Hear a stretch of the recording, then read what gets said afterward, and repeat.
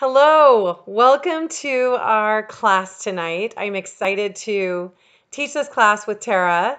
We've really been wanting to do something like this so we can reach out to everyone across the globe to teach them about these amazing Young Living products that have blessed their lives. I know I was introduced nine years ago to one of my friends, and I thought it was a little cuckoo.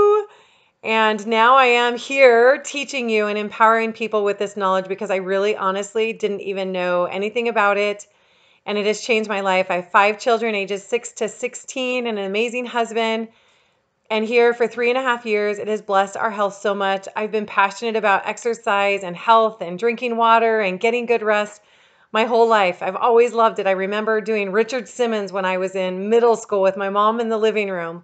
And Young Living has just been an added blessing to that healthy lifestyle. So I'm glad you're going to stay with us a while, get in your pajamas, get cozy, and enjoy this ride with us to empower you with more knowledge about these products.